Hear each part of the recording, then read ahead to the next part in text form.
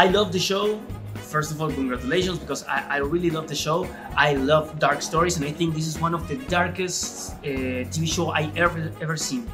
Uh, so, how was for you to to work in, in such a somber plot?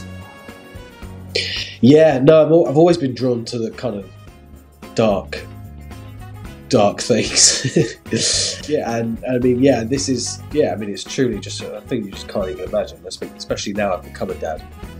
It's taken a whole new kind of. Uh, it's a whole new, different level of of, of dark, and it's um, yeah, it's it's, it's, it's, it's such a, fun, interesting. It's a very unique show, kind of having everything happening in this kind of one location. Um, it's yeah, and not really knowing exactly kind of where this is going, and treading that line between being supernatural and completely rational is um, yeah, it's really interesting, and I've, I've I've loved kind of seeing where it's kind of going. It's been great. One of the things I like more of the show is, is there's no like a bad character or a good character there's not like a villain all the characters have done very bad things uh, through the, the story uh, and at the same time you, you can see that they tried their best so how was for you to build julian uh, really between these these two sides the, the darkness and, and, the light yeah no i think that's it's something it's, it's really interesting not really knowing who your allegiance is with who you trust kind of because everyone kind of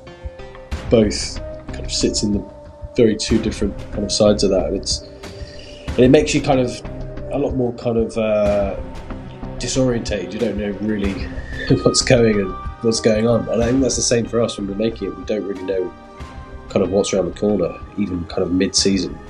Everything's kind of shrouded in, in this kind of secrecy, so we're kind of discovering it with the characters, and it's it's yeah no it's, it's it's very intriguing. And it's and I think this season as well we see very kind of different sides of the characters.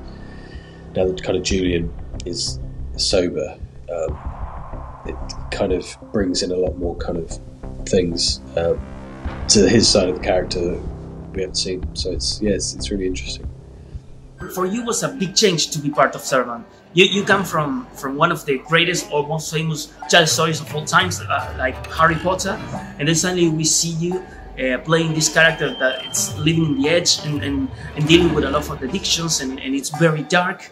Uh, were you pursuing this this uh, change uh, when you accept to be part of, of Servant? Um, yeah, I don't think you ever really kind of consciously decide kind of what, what really want. I mean, as I say before, i have always been very drawn to this genre of um, of story, and um, yeah, I think it's it's been very refreshing playing someone who can can say the f word quite freely. It's something we didn't really get to do much of. Uh, in, in, in Potter, so it's yeah. I mean, it's always fun. Kind of as I get older, I'm playing more kind of adult roles, and it's yeah, it's it's a, it's a nice it's a nice change. But um, yeah, it, it's it's it's just it's it's so different in in some ways. It's hard to to really compare them, but it's yeah, I'm really enjoying it. It's been great. Pendemos de un hilo. Before I leave, I have to tell you because if not, everybody will kill me. But I have to tell you that when people find out I was going to talk to you, uh, everybody told me tell him that we love him and oh. we want him to, to come to, to Argentina. I'm coming. I'd love I'd love to, to go to Argentina. Yeah, it sounds good.